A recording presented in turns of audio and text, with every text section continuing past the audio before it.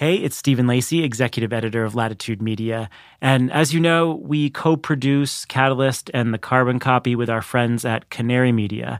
And we are barreling toward the end of the year, and that means that it is Canary Media's pivotal year end donation drive. If you support this podcast, if you support the clean energy journalism you get every day from Canary, please make a donation to their newsroom. You can go to canarymedia.com slash donate. Canary is a 501c3 nonprofit newsroom, so your financial support helps them survive and thrive and be a leading voice in the energy transition. And your donation is tax deductible. So again, go to canarymedia.com slash donate to stand up and do your part. And if you want to support the journalism team at Latitude Media, just go sign up for our newsletter. You'll get all of our reporting and upcoming research on the frontier trends in renewables, storage, virtual power plants, carbon removal, and more. It's at latitudemedia.com slash newsletter. So go support Canary Media with a tax-deductible donation. Go support Latitude Media by signing up to the newsletter. And thank you very much. Now, on to the show a co production of Latitude Media and Canary Media. It has been a year of extremes around the world. Monthly global temperature records have been shattered nearly every month, and government prediction agencies in both Europe and the US say this year is virtually certain to be the hottest ever measured. And Europe is warming almost double the global average. The region has been gripped by multiple extreme heat waves over the last couple of summers, roasting even temperate regions like the UK. This is the Met Office headquarters. I'm meteorologist and weather presenter Aidan McGivern, and it is an extraordinary spell of weather. I've been a meteorologist for a long time. Really, this is one of the most remarkable forecasts I've seen in my lifetime. Well, we're generally not used to terribly high temperatures in the UK, but the last few years we've had some real um, bursts of hot weather that have lasted anywhere from a few days to a few weeks. Emma Woollacott is a technology journalist based in the UK. She writes about large tech companies, regulation, sustainability, and increasingly artificial intelligence. And she recently wrote a story for Latitude Media on how that heat had direct consequences for the grid operator, National Grid.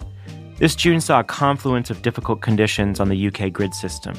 There was an interconnector fault that slashed delivery of electricity from Norway, a nuclear power plant was under planned maintenance, and the summer heat has also increased demand from air conditioners, which are suddenly spiking in popularity in a region where AC is not that common. Meanwhile, it wasn't especially windy at the time. It was the, the, weather was very hot and still, so there was much greater reliance on solar power, and it, again, it just wasn't enough. Uh, and so the national grids, the electricity system operator, had to ask for a coal plant to take up any slack. And that broke a pretty important streak, did it not? Yes, it did. It was rather a shame. 47 days the UK had been with, without needing any coal plants. This return to coal, however brief, was a big deal symbolically. Britain was an early pioneer in the use of coal. As recently as 2012, it generated 40% of electricity there. And in 2015, Britain set a goal of phasing out coal by 2021, but it's had to delay that phase out by three years. And this summer's emergency reliance on coal, even though it had nothing to do with solar performance, brought out the skeptics who claimed it was solar power that failed in the heat wave. The latest ridiculous story that we've got here is the National Grid was forced to fire up two coal power stations um, after solar panels failed to work. I know I may not be a scientist, but you have a solar panel which absorbs the heat from the sun uh, and then transforms that heat into energy so that you can power something else with that electricity. But apparently, solar power is only good when it's not too hot. Over here in the US, we saw Fox News and a bunch of other conservative outlets pick up the story, and their claims that solar failed were completely false. But they pointed to an area where actual scientists say we need more improvement weather prediction for grids that are increasingly saturated with weather dependent renewables at a time when weather is increasingly unstable. You need to know what the weather's going to be like fairly immediately, next few hours, next few days keeping power stations on standby can cost hundreds of thousands of dollars a day. The, the less that needs to happen, the better for everybody.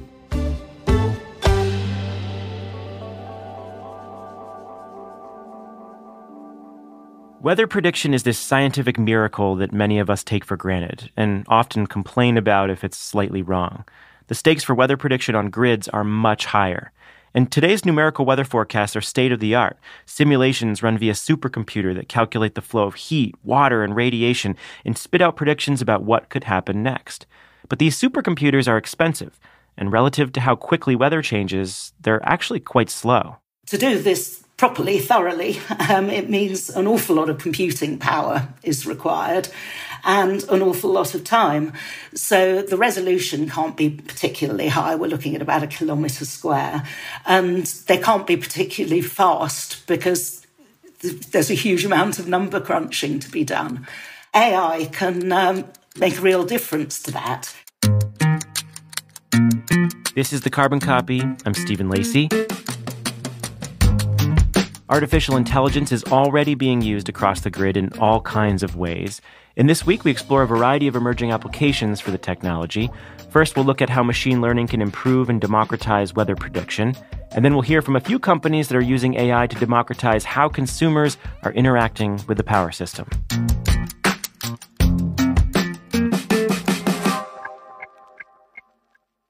This episode is brought to you by The Energy Show, hosted by solar industry veteran Barry Cinnamon. Want the real world scoop on clean energy technologies without the marketing hype? Wondering if that cool new product or service really pencils out for customers? For the real world scoop on clean energy technologies with a focus on the customer perspective. Don't miss The Energy Show. You can find new episodes at energyshow.biz. Carbon Copy is supported by Fischtank PR. Every day, Fischtank listens and digests industry trends that impact their clients' businesses. They use that knowledge to introduce their clients to top tier journalists and communicators at the right time for the right story. At Fischtank, they'll take your ideas and insights and generate results. To learn more about Fischtank's approach, visit fishtankpr.com. That's F I S C H, fishtankpr.com.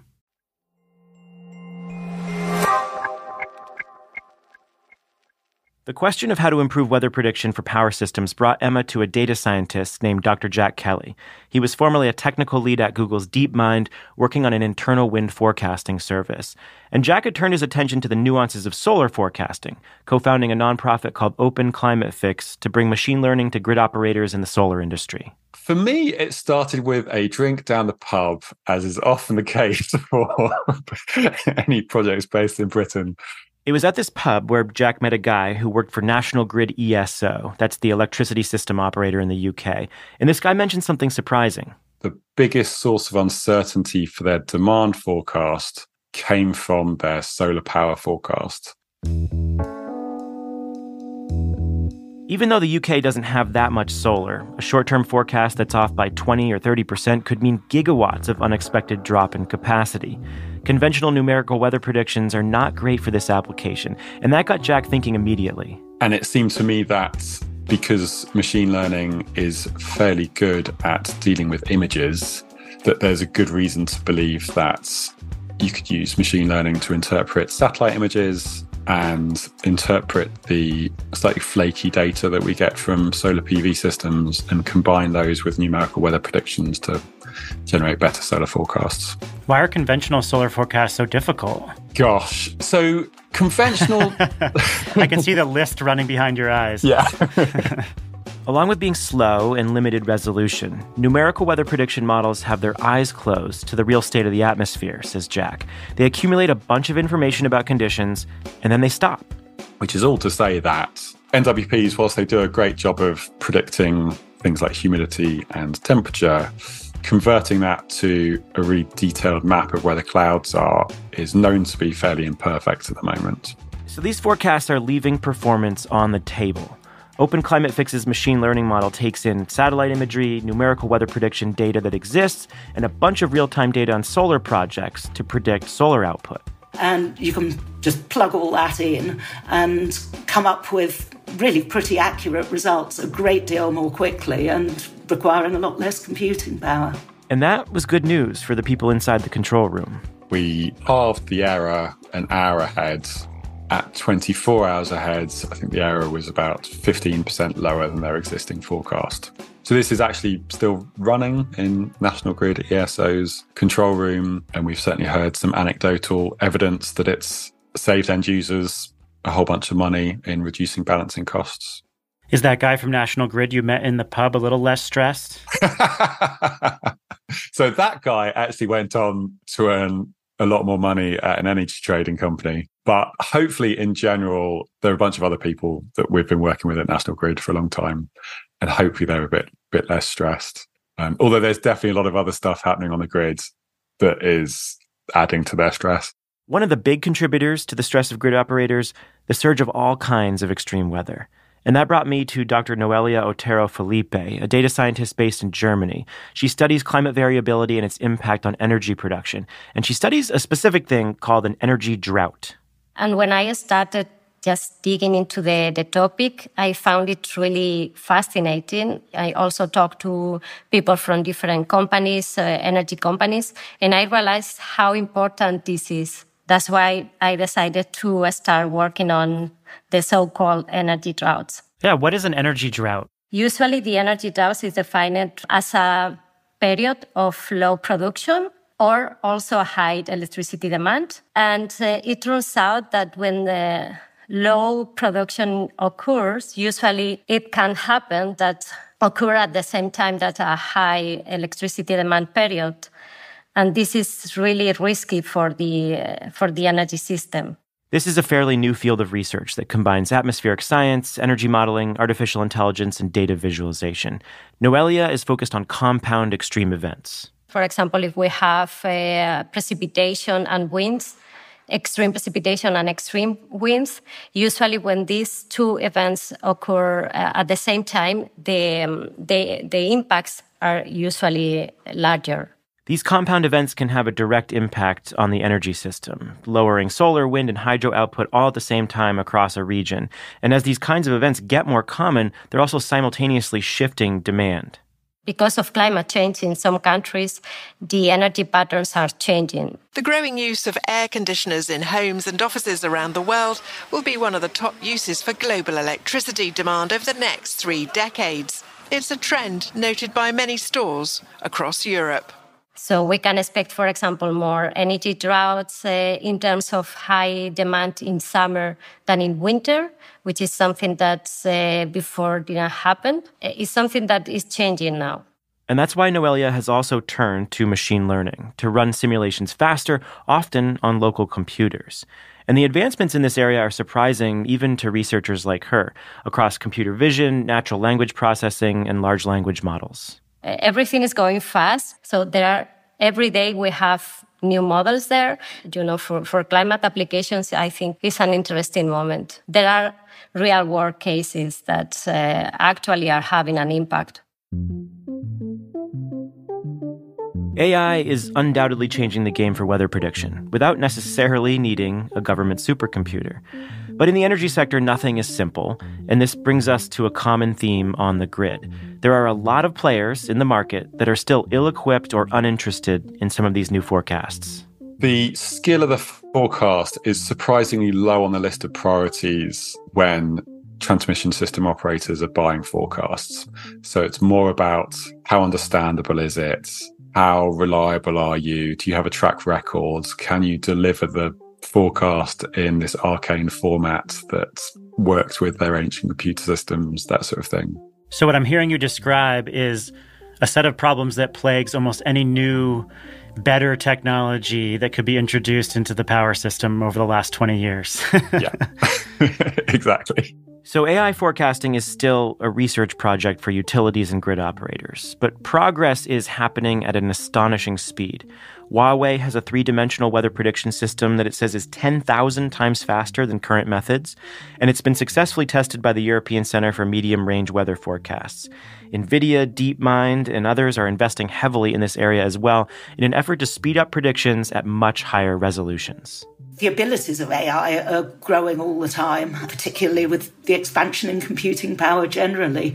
It's finding applications in practically every field of human existence at the moment. Did you come away from this story feeling like there's a real valuable use case here? Oh, very much so, very much so indeed.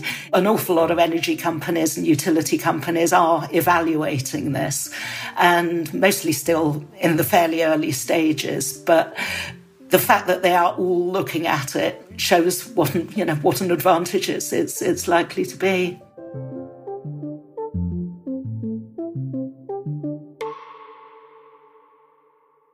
Coming up after a quick break, a roundtable conversation on how three tech companies and a major utility are using AI to manage electric cars, smart meters, and other customer side resources on the grid.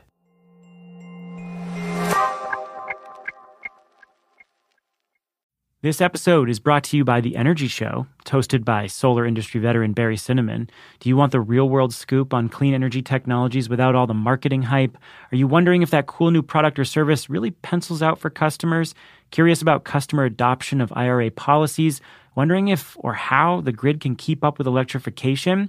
Well, if you are an installer interfacing with customers or a customer yourself interested in clean energy, you should subscribe to The Energy Show. You can find it at energyshow.biz. The Carbon Copy is supported by Fischtank PR, a media relations and corporate comms agency dedicated to elevating the work of early stage and established companies across clean tech. Are you tired of paying top dollar for big name PR firms but not really knowing what they're delivering? Is your comms team wasting time reviewing lengthy messaging briefs and decks instead of engaging journalists or producing content? Fischtank PR takes the opposite approach. Whether you need to position yourself as a thought leader in between project announcements or translate complex ideas and technologies into tangible, compelling content, Fischtank can help. Check out fishtankpr.com. That's F I S C H fishtankpr.com. And if you're looking for your next role in PR or media relations, check out Fischtank's open job listings.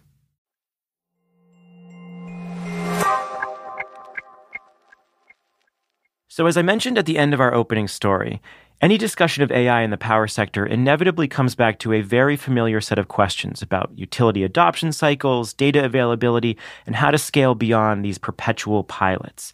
AI doesn't magically make those go away. And when we turn to the technology for managing and dispatching customer side resources for applications like virtual power plants, this is an area where there's a lot of cool stuff happening right now.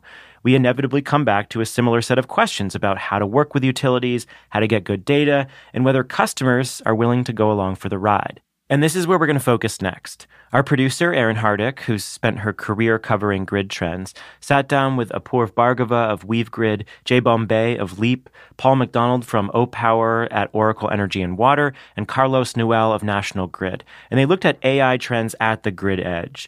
So here's that conversation, which was recorded live at our Transition AI New York event in October. Hi, good morning, good afternoon. I don't know what time zone I'm on anymore. I've been in West Coast, Central, and East now in the last 48 hours. So, uh, my name is Apoorv Bhargava. I'm the co founder and CEO of WeaveGrid. So, my role is I do all the things. And that means that from the first days of thinking about how we take machine learning and artificial intelligence and put it into place to think about what I believe is going to be the most critical transition off, uh, off this, of this entire next 10, 15 years which is vehicle electrification, and thinking deeply about how we move to a new grid and a new transportation economy that is decarbonized at, at you know, from, from at its heart. Um, WeaveGrid basically builds software that works with energy utilities. They are a primary customer, but also deeply partners with automotive and charging companies.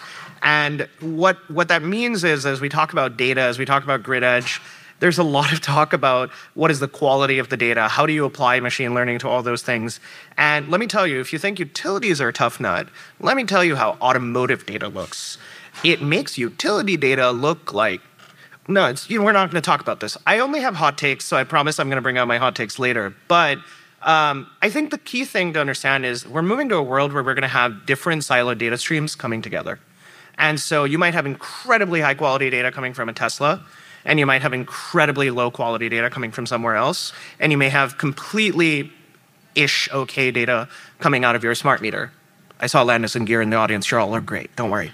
But what that means is we have to somehow bring all of these data sets together, build forecasting, build analytics. I heard something about you know the analytics pipeline doing it five times over in the last audio, in the last panel, and we have to then build consumer decisions consumer automations, consumer insights, and importantly, consumer savings that benefit each and every customer and also benefit the system overall. A really critical insight we've had at WeaveGrid is that consumer decisions, the consumer's choices that they make around particularly how they charge their vehicles, have deep operational impacts. Operations with a big O going down to the distribution operator. And vice versa now, operators are going to require that data and visibility and insights in order to also keep their system reliable, clean, and of course, affordable. So that two-way dependency is something that we don't think about a ton because generally the thought has been let the let the load run free, you know, let the power run. And and and I'm, I'm obviously being a little facetious, but the point is we've never really required that amount of synergistic both visibility and control at the edge. Um, I have a lot of ex Nest uh, employees on my team, and I love to remind them nobody really cared if it was a smart or dumb thermostat. It was just a thermostat at the end of the day. Now, of course, again, being a little out there, point is like EVs are a completely new device type, each of them charging anywhere between 7 to 15 kilowatts at home. And that is a tremendous amount of load to be putting onto a cul-de-sac that has eight homes and now suddenly 2.1 cars per household, starting to look pretty hairy pretty quickly. And so that's what my company really focuses on. We'll talk a lot more about how we use machine learning later, but yeah, I don't know if I'm at time, so I'll shut up and move on. Uh, so I'm Jae Beom. Uh, I am a director of platform operations at Leap. Uh, what we do at Leap is kind of similar to WeaveGrid in a sense, but we are more technology agnostic, whereas uh, EV will be part of the mix of kind of what we provide to the market uh, as a DER aggregator. Uh, so really, we're a software platform where any sort of device that's enabled by IoT can integrate, um, and we participate on their behalf to the wholesale markets. So our thing is uh, participation in the wholesale markets as well as value stacking and sifting through all the products that are out there uh, from a wholesale perspective and providing the best value for our uh, end customers. Um, and I think like similar to Apoorv, like we've seen an explosion of the variety and uh, volume of devices that are proliferating now and willing to participate in the energy market because those are two very different layers. Um, and I think like over the next like five, ten years, which is some of the stuff we'll talk about, uh, we're just at the tip of the iceberg of this grand revolution that is the ERs, I think. So. Um, good afternoon, good morning. Uh, Carlos Nouel with National Grid. Uh, I'm part of the business that is here in the US, and not the one that Stephen was talking about early on in the business in the session. That's in the UK. Um, you know, I, actually like this panel. So I have two panels today, but this is one that I'm really interested about, primarily because you know we all talk about DERs, we all talk about you know modernizing the grid and all these things, but you know, the reality is it only matters if customers actually make different choices. Like none of this actually matters if people don't make different choices. And you know, a lot of the work that we're trying to do is thinking about how do we actually get customers to make different choices.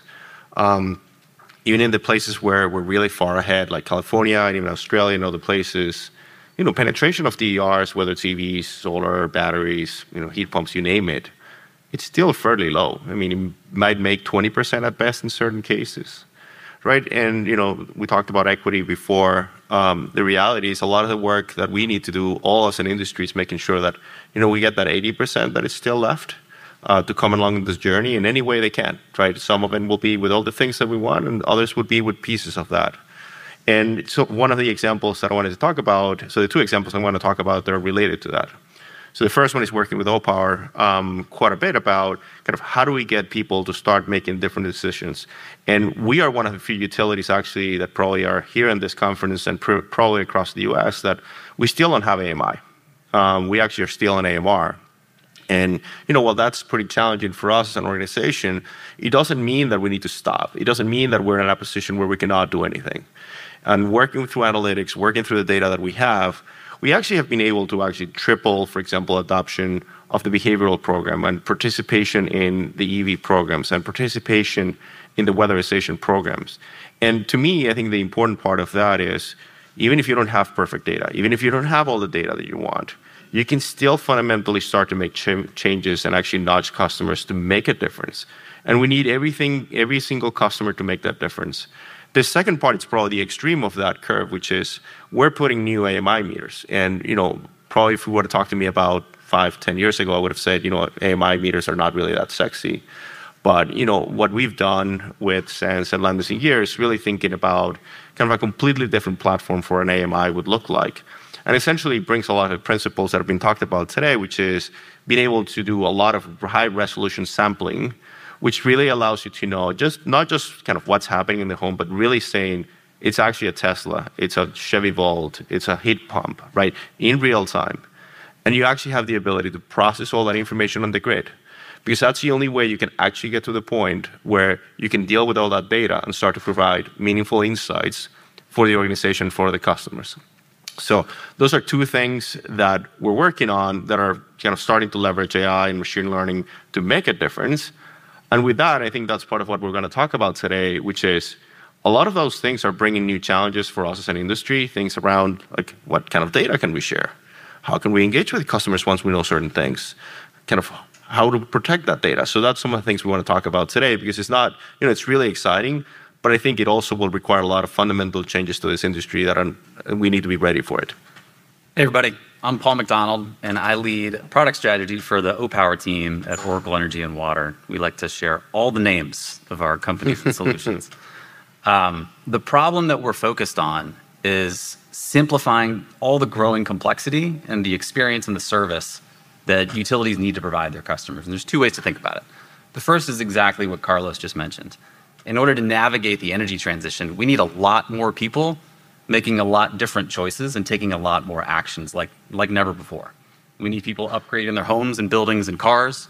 We need them adopting uh, DERs and automation programs, reducing and shifting their use uh, when infrastructure is constrained. We need them getting financial assistance when they need it every single customer that a utility serves has something they need to see and do next. And instrumenting an experience that meets them where they are presents an incredible amount of complexity. So that's thing one. Thing two is the more success we find in influencing all these actions, the more complex these customers become to serve.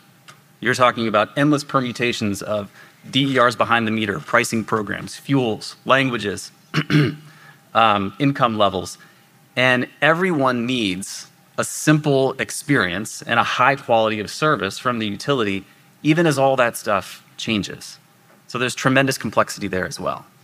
So what we do with our clients is we, we leverage artificial intelligence and behavioral science to instrument that experience that will help customers take action and help them feel well cared for and well served at the end of it.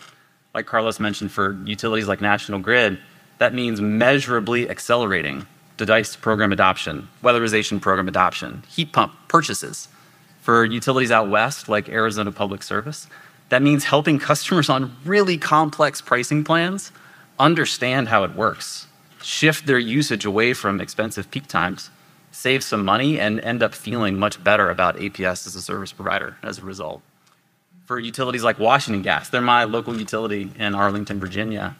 Uh, we're using AI and behavioral science to identify likely limited income customers, reach out to them uh, with an experience that helps them feel comfortable seeking assistance and help them get enrolled in really well funded programs that make the energy they need to live their lives more affordable.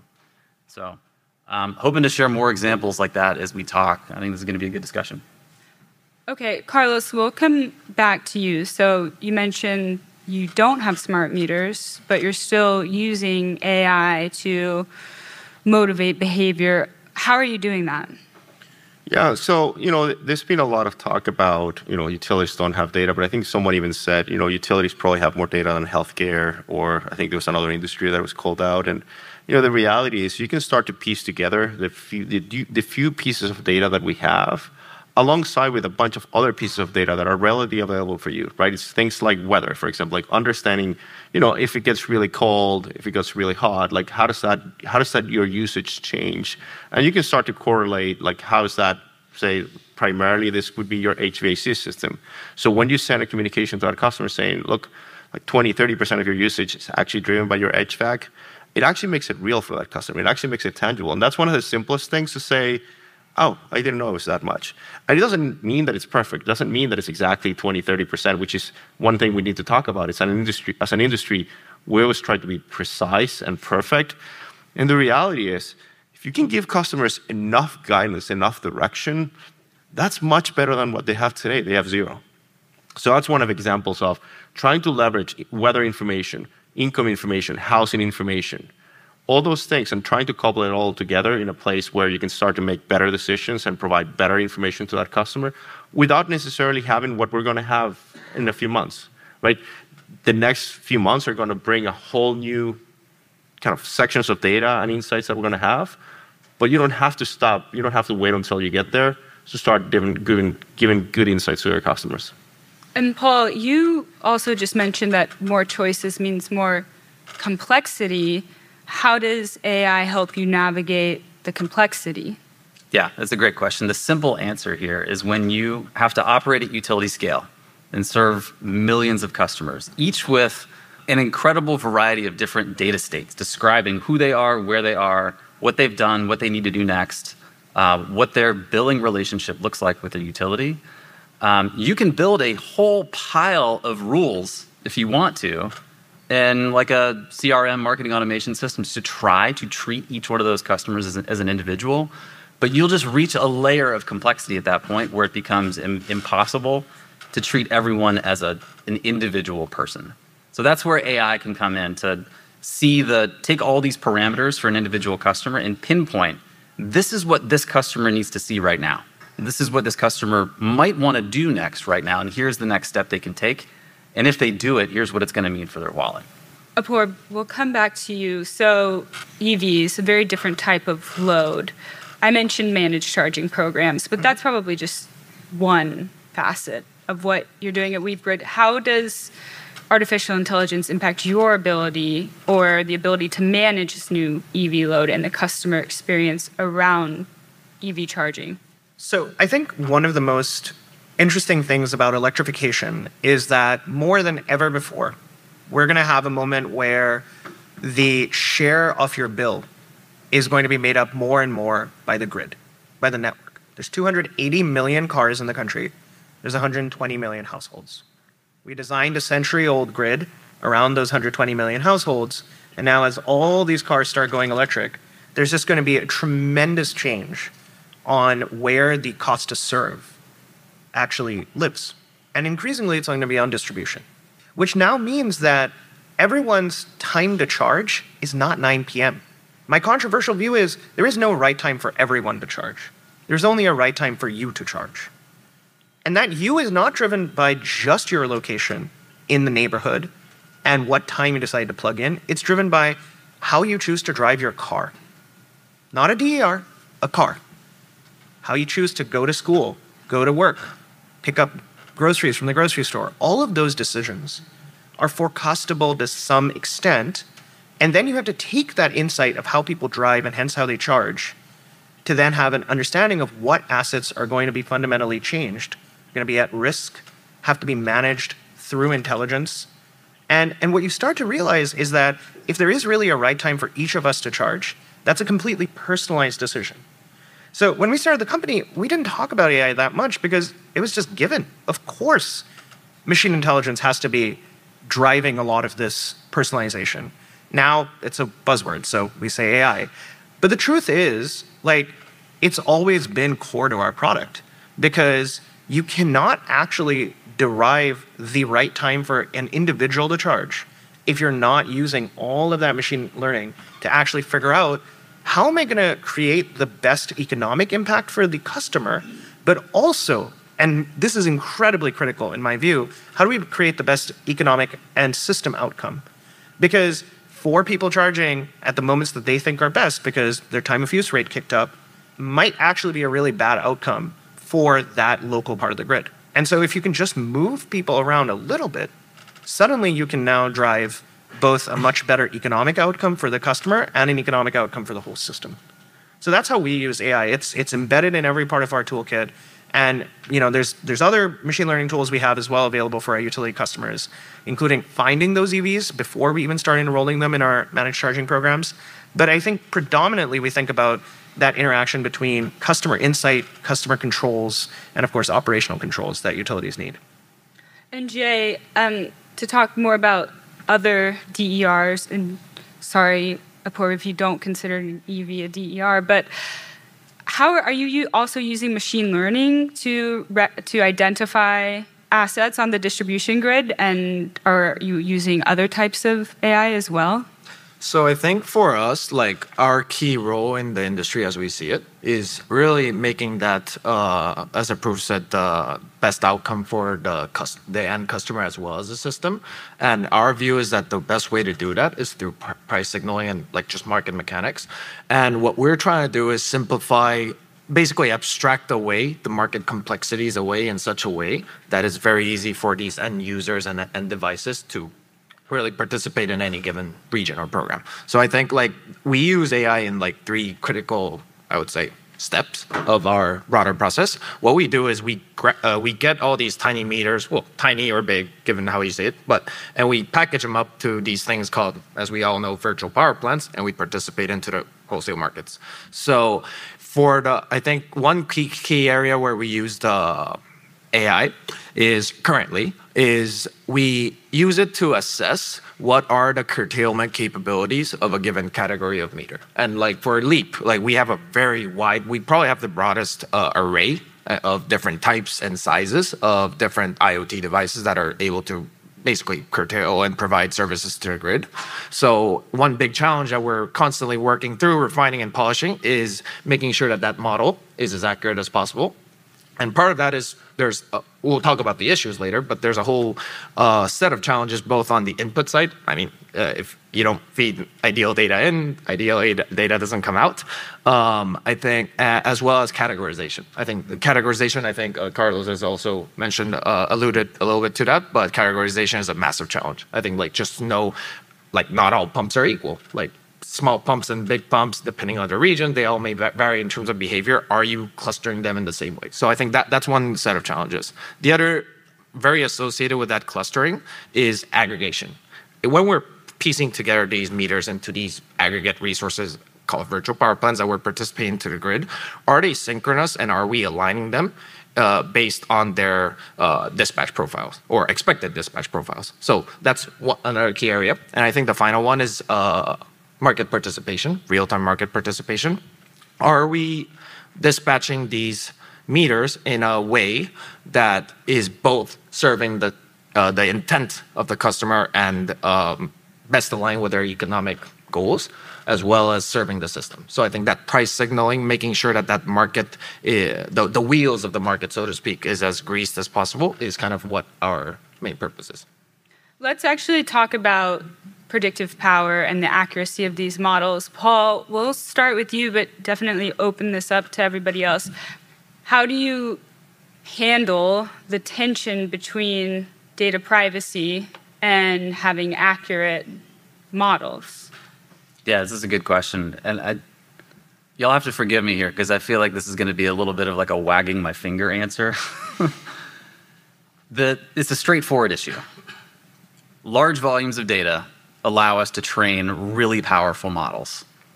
Handling larger and larger volumes of data creates higher and higher stakes for keeping that data secure. Uh, Larry Ellison was just talking a few weeks ago about aggregating entire nations worth of electronic health records in order to train models that do things like never ending clinical trials and like personalized um, medicine use cases. In our industry, we're handling data that describes people's daily lives in their homes. So the stakes are high. And I think in order to sustain the permission we need, in order to handle the data we need, to train the models we need to navigate the energy transition, we have to treat the security of that data and the privacy of customer data in particular as a top priority. And that is like brutal work. It's getting data usage agreements right, it's getting cybersecurity policies right, it's human and technical controls at every single layer of the stack. It's auditing those things regularly. And it's not as exciting as the work of building a new model to solve a problem we couldn't solve before. But if we don't do that, we won't have the opportunity to build those kinds of models.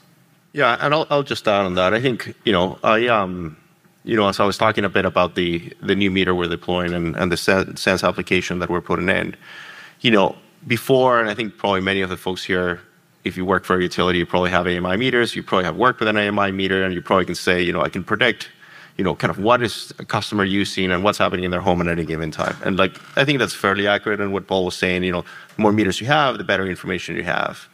you know, the reality is because of the high level resolution that we're doing on the sampling and using language models, we actually stop from like guessing what's happening in the home to like actually knowing what's happening in the home. Right to the point where I know when, you know, I can tell you about my house because I have it in my house. You know, I know when, you know, we open the fridge, right? Because there's a light in the fridge that comes up and I know when they open the fridge, which is a bad thing for my kids, but I actually know, right? Um, you know, we know when we plug the AV, we know when, you know, we turn on certain devices. And we know it in real time. It's not like four hours later, like it's real, real time. And I think, you know, the, the thing we, need to do, or at least the way we approach it, is twofold. I think the first one is we need to start building this trust where we say, you know, you can you can opt in, right? This is not a thing we're going to force on every single customer at the beginning because it is really personal. This is like really knowing your house. When people used to say, well, we really don't know about what's really happening in your home, that's not the case anymore. We actually know, period. Right? And I think we need to make sure that customers understand that we're doing this for them, which ties into my second point, which is we need to show the value to customers of all of this, right? You know, I, you know, many of you probably have, you know, have an Alexa or use Facebook or use, you know, Instagram, whatever, right? Facebook is for all people, so I think probably this crowd people will know what it is. Um, but you know, we all click on the privacy things without reading it. We always say, like, do you agree to the terms and share your data? And we all say, yeah, sure, like, doesn't really matter, right? And part of why you do it is because, you know, what's on the other side of that link, it's value, right? It's connections. It's like you get your, those reels that are numbless and you spend hours watching them, right? As an industry, we don't have that same sex appeal yet. And we need to figure out how we continue to kind of make the value of the data available to customers in a way that they actually are going to click on that link and say, I'm actually okay with you like giving me this insights because I see value in it for me individually. Forget about everything else. I see value for me individually. And I think as an industry, that's something we need to continue to tell the story of why it's important for them to have that data, and then why it's important in the right places to use that data for other purposes that serve the greater good right? Things that can help the broader system, things that can help your own broader community. I know we've done things with Opower, for example, where we do campaigns at a community level. And those tend to be really, really exciting and people get really engaged. So we need to balance privacy and cybersecurity with the value that we're providing to the customers and to the system. And striking that balance, it's going to get more complicated as we have more data, as we start to get into kind of more devices that know a lot more things. Because even when you move away from residential customers, you start to get into commercial customers where, in some cases, that could be a competitive advantage for some people if I know kind of how and when you run your devices. So this is going to be a new journey. And I think one of the pieces, even from a regulatory perspective, that is a big thing that will need to change. Like I can tell you right now, here in New York, utilities couldn't go and just market. If I know you have an EV, I couldn't just go and market people saying, here's a great rate for you that can save you money. Even though it's a good thing for customers, that's considered marketing. So, how do we deal with those things? How do we work around those things from a customer perspective and a regulatory perspective is something we really need to get ahead of it so it doesn't become a roadblock later on. I was just going to add one thing. You do have sex appeal. Yeah. uh, the sex appeal is called being able to drive your electric car somewhere. Mm-hmm. Honestly, how many of you thought about AT&T before you had a cell phone? Not much. Rotary phones kind of sucked. The reality is the sex appeal is in the value. And we are moving to a world where the value is suddenly showing up in not just, oh, yeah, I used three qua, I mean, kilowatt hours. I've literally had somebody say, what's a qua? And I was like, a kilowatt hour. Three qua on my fridge. Well, that doesn't matter. Being able to get to a grocery store does matter.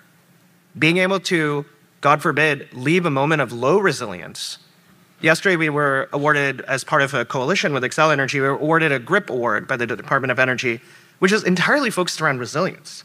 It's entirely focused around what happens in a moment where a wildfire were to hit and you have to turn off lines. How are we now communicating with people who need to evacuate that area?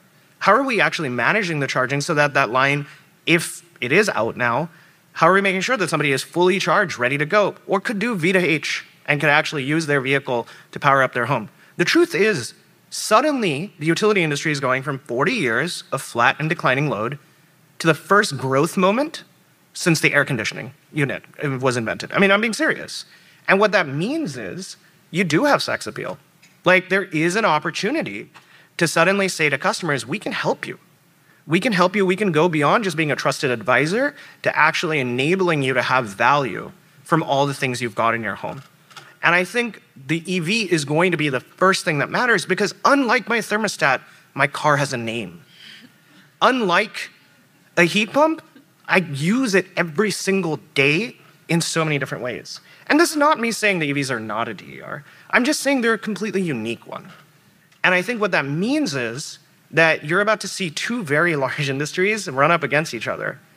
Because that's the other aspect, which is if you think the utility is constantly monitoring you, wait till you find out what automakers are doing to you, right? They are also constantly taking a lot of that data into account and saying, how do we build the right personalized experience for you, the driver? Now, suddenly, you, the driver, are also you, the energy customer. And we've maybe got conflicting things happening here. How do we, how do we reconcile you know, the experiences that each of these entities is trying to deliver to the customer and make sure that it's a seamless one that actually brings down the cost for everyone, not just the rich few who can buy EVs today? Let's talk a little bit about bias before we transition to talking about how to maybe address these problems. Um, Jae, can you talk about the how detrimental or the impacts that bias can have? I think uh, the classification challenge that I mentioned uh, initially uh, is a big source of bias that we've been grappling, per- like personally at Leap. Uh, uh, so I think what that means is when you have to be very intentional about understanding what like the various different meters that like it's not just a row and a table right? So you need to understand the context that where that meter is located what are the characteristics that like define how that meter performs or responds to a market event. And i think like we've evolved quite a quite a bit as an industry and as personally as Leap on how well we understand what are the drivers and what are the different characteristics and parameters that define what that uh, curtailment curve or predicted curtailment curve looks like for a given meter. So I think getting that classification right has been quite a challenge, and it still is challenging uh, uh, because it's partly is it just meter type and size of the meter that matters and location, or is there other factors that we're not even capturing today that we should be um, for one reason or another uh, is hard, uh, that that would improve uh, how we do that uh, granular mass customization, so to speak. Because in the end, that how that will feed from our perspective of how we represent that given meter in participating in the market, how much they're promising, how much they're selling to the market, uh, as well as how we're aggregating those with other, so to speak, residents in in, in their in their vir- given virtual power plant. Um, and I think like another as, uh, another area where like we've seen bias like be quite challenging is in uh, a new feature we're rolling out called non-response de- detection. So a lot of times like Leap is an aggregator of aggregators. So we're an aggregator, and there will be another like uh, business. It's a B2B model where their job is to operate and manage all these different uh, devices. So often there's a when you have like the, that sort of value chain uh, with like multi, multiple steps on the way, you have uh, a lot of inadvertently, I think, have a lot of friction in how much the signal gets lost on the way. So sometimes what some of our customers have faced is uh, they've faced issues where they've gotten market signals, but they, for whatever reason, haven't the, the, devices that were supposed to respond to a given market event didn't end up showing up, and often these middle players don't know, sometimes aren't aware whether it's data infrastructure or just uh, just lack of awareness. And what we're doing is trying to provide that uh, precision on at the meter level so that we can go and take action and whether it's reducing the uh, amount of capacity they're pro- promising to the market or uh, resolving whatever on-site issues they have uh, so that we're rectifying what whatever we're providing to the market and that's like quite important because like as an aggregator we are kind of the spokesman for all these different players that are kind of all these different devices that are plugging into our platform and resolving the what's really still persisting. It's it's probably one of the biggest challenges to the DER industry, which is trust from the utility and regulator side on embracing DERs and really accepting them as a reliable uh, resource, whether it's for capacity or for localized capacity. Um, I think uh, getting establishing that trust is like one of the biggest roadblocks to DER like just proliferation into grid integration and getting that, like coming back to your question on bias, uh, minimizing that amount of that, bias, basically that's seeping into our models, um, is one of the biggest challenges that like is worthwhile tackling. By the way, you know you're on a podcast or an event in New York when you hear people blasting their horns in the background, so that's probably going to get recorded in the podcast. Um, you know, I think one of, one of the things um, I think we mentioned it when we had the prep call is, you know, models. All the models we talk about are developed by people, and a lot of the people that are developing those models are people that have been in the industry and know the industry pretty well. And a lot of those folks have been trained for years and years and years to be overly cautious, risk adverse, uh, plan for just in case. Like all those bad things we talk about the industry that we don't necessarily like, but actually keep the industry alive. Those things are actually getting baked into the models. And I think the challenge with, with those models and those biases getting into the models is that all the things that we're trying to get away, those inefficiencies we all talk about getting away from, like over planning, over forecasting, having overcapacity on certain things, the models are probably going to spit out similar responses because they're getting trained in the same way that the people that are doing the work today uh, do it. And I think it's it's upon the people that are doing the models, is the people that are kind of working with the different companies and the utilities, kind of started to monitor and tailor those models in a way that we're tar- we're taking away some of those biases that we've hated over the years, and make sure that they don't get embedded into kind of this new ge- next, next generation of things that we're doing and we actually ended up with a product that we all talk about, which is, you know, we want to be more efficient. We want to actually see real time, real time data to make better decisions, and not necessarily saying, well, I'm going to calibrate this model just in case something goes wrong, and I'm going to over over plan for it. So that's the other bias that I'm really worried about. That if we don't catch it early, you know, models sometimes are black boxes, black boxes, and if we don't know kind of how it's created, we're going to end up with the same results. Yeah, and very quickly, I mean, the other thing I just think about is like societal bias creeping into systematic machine bias, right? I mean, a lot of people who buy these distributed resources today, um, EVs very much being that, solar, whatever, are generally very wealthy people. And so, are we now doing rate design and setting operational constraints based on what the richest 10% want? Or are we thinking exactly to what Carlos said earlier, the rest of the the rest of society. And I think we're seeing those biases creep up in a lot of other machine learning models and use cases.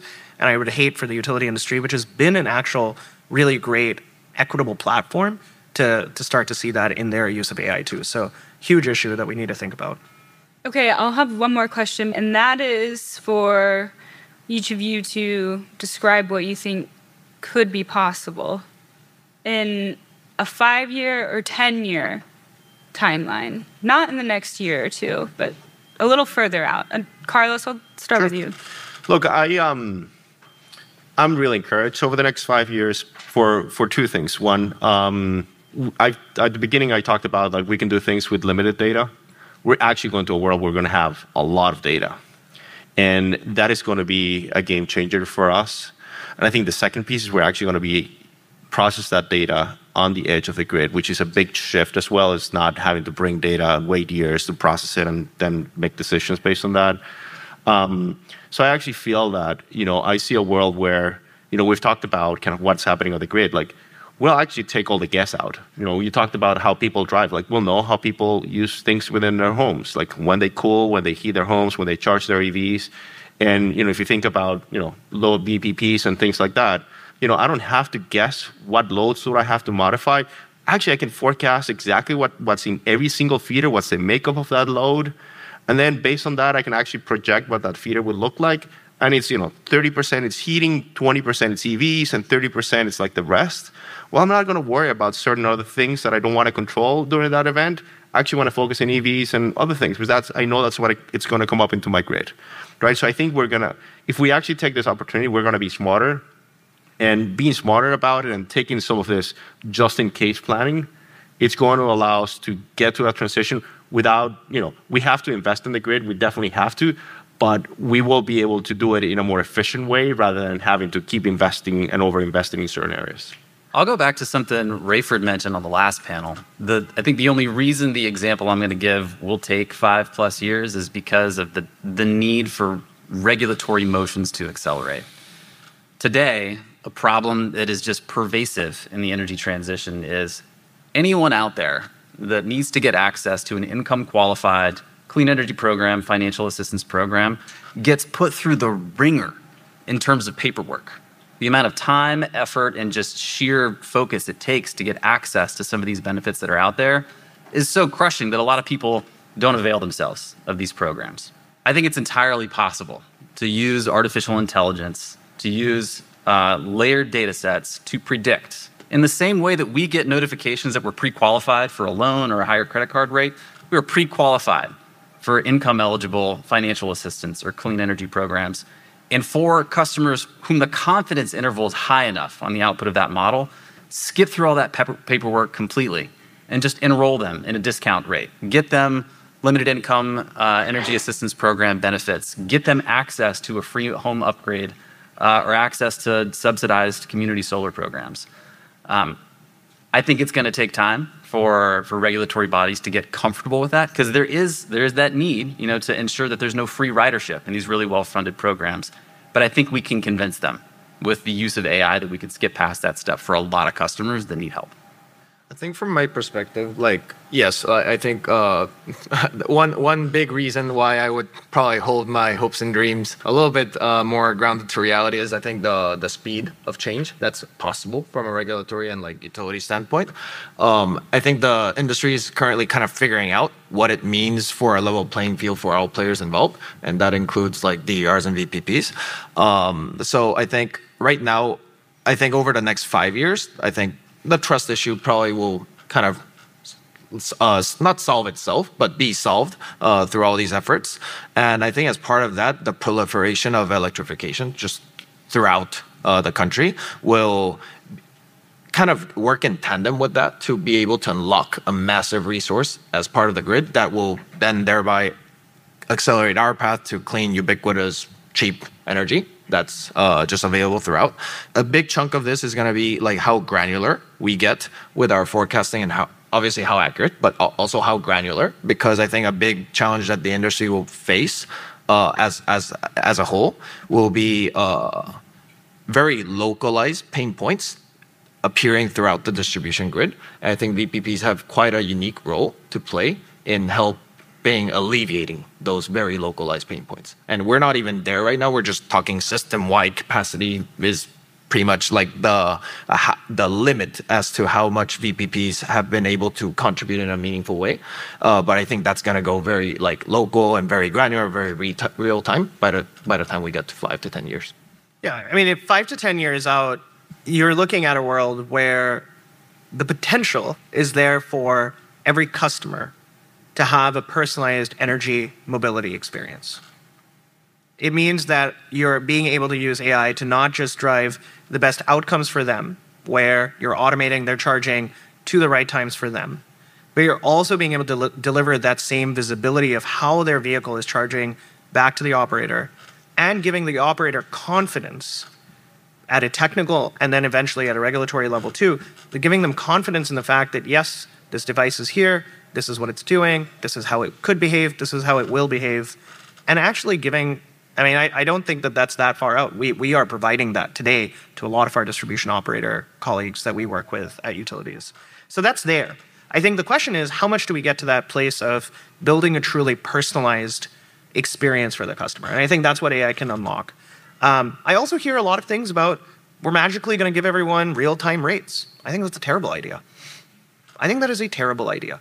I think real time rates are, a, are, are an approach to trying to personalize, but actually passing the entirety of the hedge of the energy markets onto customers and saying, you become an Enron trader, you become an Enron trader, you become an Enron trader. And I think we have a moment right now where we say, okay, how do we actually deliver the best experience for customers where they actually have stability and certainty in what they are getting from an affordability standpoint, from a cleanliness standpoint and from a reliability standpoint. And I think the utility stands to be the most important entity in making that transition happen. And of course, partners like ourselves will, will enable that. So that's what I'm excited about. But, but I think we're also, you know, this isn't just a technology thing. I completely agree with my co panelists that it's a lot of it is regulatory. And we have to have regulators that are open and, and willing to go and try these things out.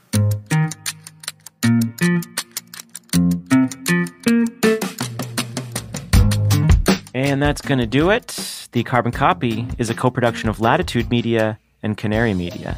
This episode was produced by me with help from Dalvin Aboagye and Sean Marquand. Sean Marquand is our engineer and technical director. Uh, he also wrote our theme song. If you want to learn more about the trends that we covered in this episode, we're covering this a ton at Latitude Media. So just go over to latitudemedia.com and sign up for our newsletter there. Also, don't forget uh, Canary Media's listener uh, donation drive is happening right now through the end of the year. So make a tax deductible donation. Just go over to canarymedia.com and you can find the donate button.